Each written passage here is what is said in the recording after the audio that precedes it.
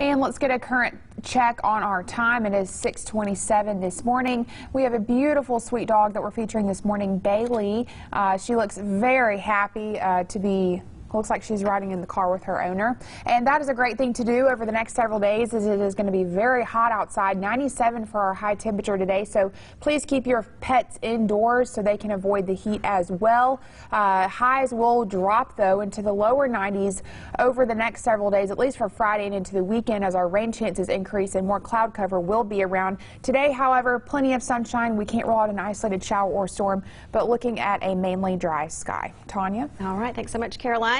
And something fishy was going on in New Zealand when a pair of stubborn